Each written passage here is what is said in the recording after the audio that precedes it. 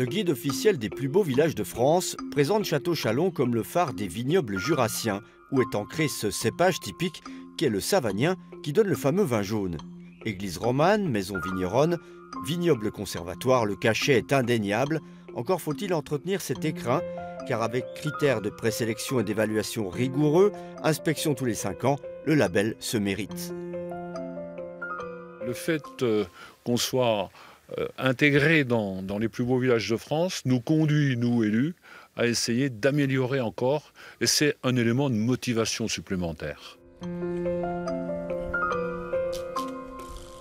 C'est magnifique, hein, c'est vraiment typique de la région. C'est un bel endroit. Hein.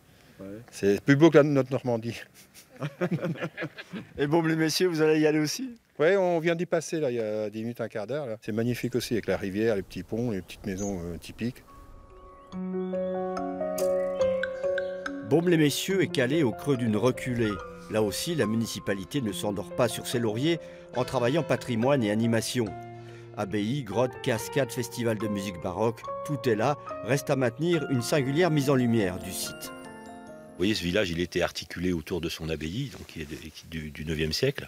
Euh, ensuite, vous avez une géographie particulière euh, avec euh, des vallées en forme de pas de doigt. dans ces vallées, vous trouvez à la fois un patrimoine naturel riche. Vous avez également tout le biotope, tous les chemins de randonnée magnifiques. Il faut deux sites ou monuments protégés et moins de 2000 habitants pour prétendre à l'appellation. L'association Les plus beaux villages de France valide au final à peine 20% des demandes.